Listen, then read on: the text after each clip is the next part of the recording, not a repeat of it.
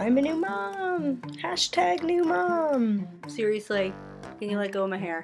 I have not slept, Ow, ow, ow, ow, ow. so I feel crazy cuckoo. Oh, fuck.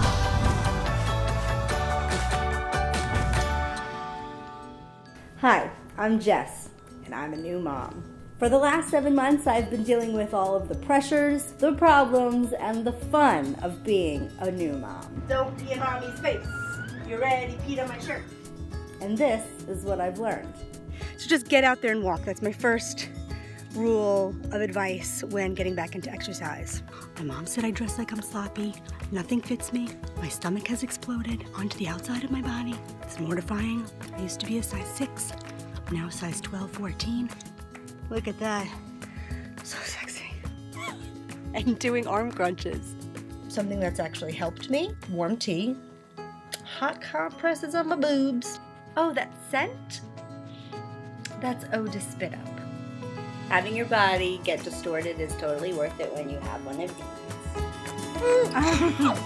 these.